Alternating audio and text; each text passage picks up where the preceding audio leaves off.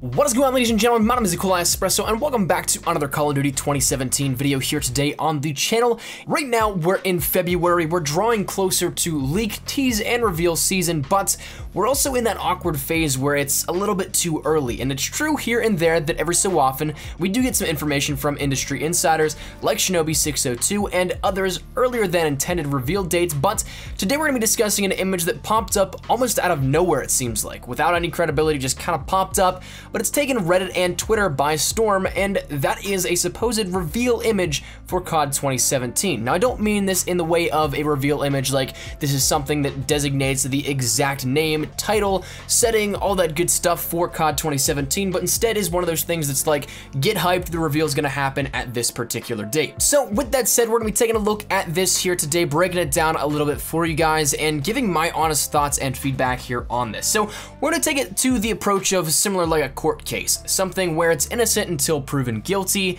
and that whole shebang with this as well. So let's just jump right into it here because there's a lot to talk about, a lot that I can give my feedback and opinion on as somebody that loves to break down things and debunk things. Let's talk about it. Firstly, the image itself, whoever crafted this is a lot smarter than other air quote leakers, I'll put it that way. There's some great qualities that make this look plausible at first glance, but as with others, there's some fatal errors that totally kill this. But regardless, let's talk about this and discuss it a little bit. If you want to follow along, I'll leave the link down there in the description below to the actual image, but I won't put it up on screen for the rare chance that this somehow is legit.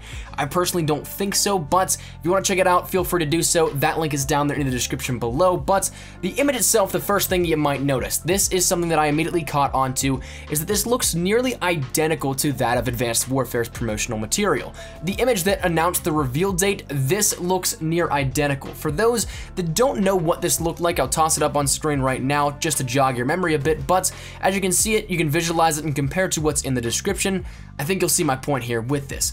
Now, of course, sure, there could be some parallels on purpose, but to me, that's not enough immediately to say, you know what, no, this is fake. So, Let's talk about the timing of the announcement, however. For the promotional material that was revealed to showcase when a worldwide reveal would be coming for the then unknown title of Advanced Warfare, the promo art was a part of a site update to CallOfDuty.com in which the update went live on May 1st of 2014. The reveal was listed as May 4th, only three days later, so not a lot of prep time, but enough to let the hype set in and to get people excited for the next couple of days.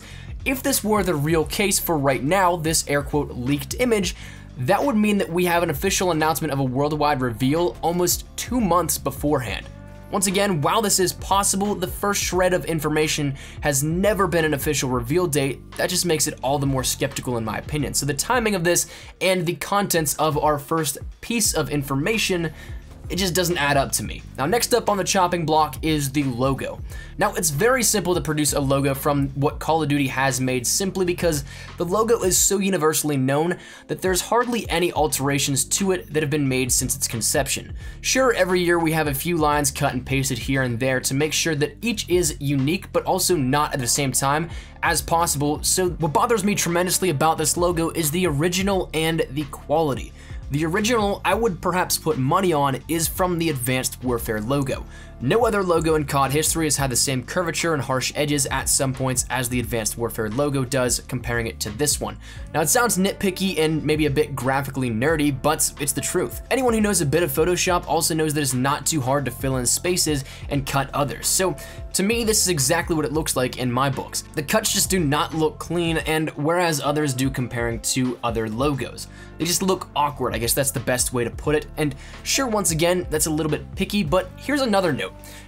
There's two ways that a logo could go of this nature. Either it's an Advanced Warfare 2 in which the logo is completely null and void in my opinion and is completely stupid to redo since if it's a continuation it would warrant the continued use of the Advanced Warfare logo similar to how Black Ops 2 and 3 have the same base COD logo and the subscript denoting Black Ops or it is an entirely different title in which the logo in question would be entirely too close to the identical Advanced Warfare one to pass marketing, QA, and all other teams involved with the public realm realms of the content. I don't know, it just seems too fishy to me, but Further moving forward, the actual reveal date is what also catches my eye here also.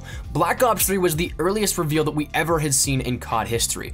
That initial reveal date was April 9th, 2015 with the arrival of Black Ops 3's teaser trailer and followed up then by an April 23rd arrival of the Embers teaser trailer.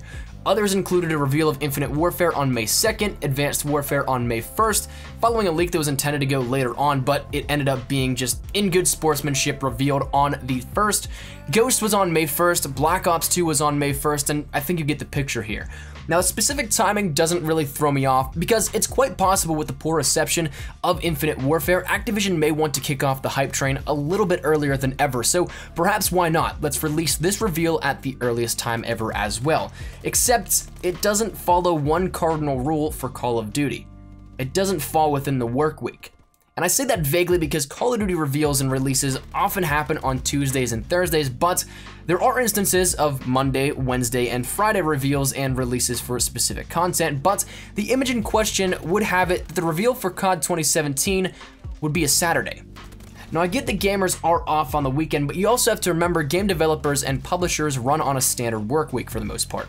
Sure, there's work that happens and people in the offices perhaps on the weekend, but not the full manpower to work an entire reveal event. So unless Call of Duty drops a massive bomb on absolutely everything we know about reveals and teasers and things like this, I just don't see this one happening. And finally, let's talk about the actual logo and some discrediting factors of the image itself.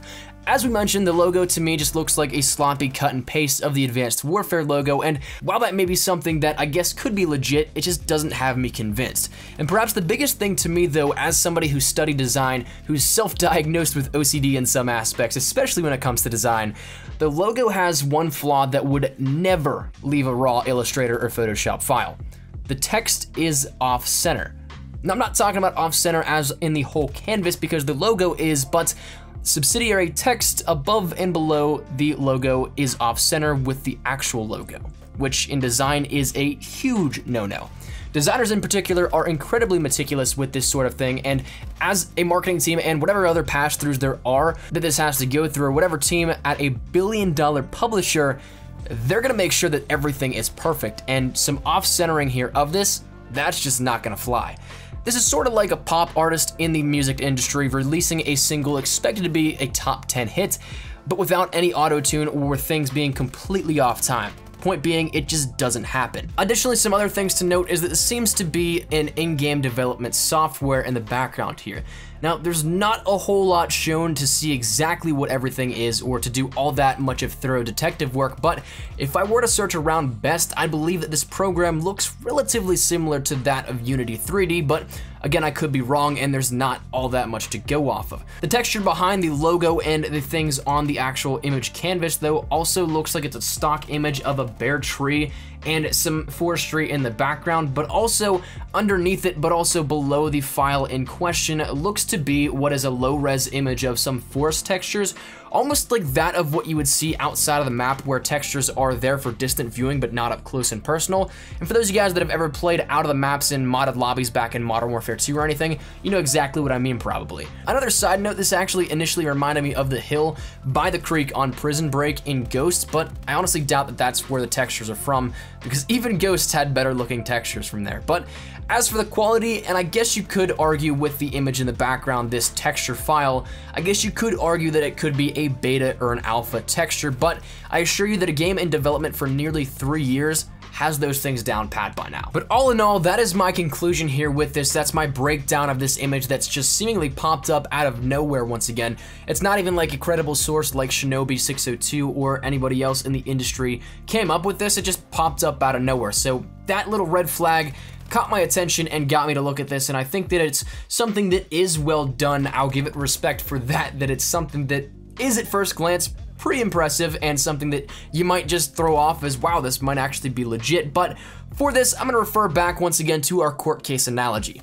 There's not enough evidence here to convince me personally that this is legit, but more so, there's enough to make me skeptical and perhaps persuade me into a shadow of doubt, and for a necessary innocent ruling in this case, as the analogy will go, there needs to be no shadow of doubt present for this to be something that I can call legit in this case. So to me, this is just something that isn't conclusive enough. It rides the hype train and it looks good, but there's just too much that does not seal the deal for me here and leads me to believe that this is just something Photoshop that came up out of the blue. So that's where I'm gonna turn it over to you. What do you guys think here of this image? Do you guys think it's something that could be legit? Do you guys want it to be legit? And whatever it may be, feel free to drop your thoughts down there in the comment section down below. If you guys enjoyed the video, thank you guys so much for making it this far. Drop a like down below if you guys would be so kind. Really does help the video out. And if you guys want to stay up to date with everything Call of Duty 2017, Black Ops 3, Modern Warfare Mastered, Infinite Warfare, all that good stuff relating to Call of Duty, make sure you hit that subscribe button to stay up to date with everything we do here up on the channel. We got you covered with all that good stuff.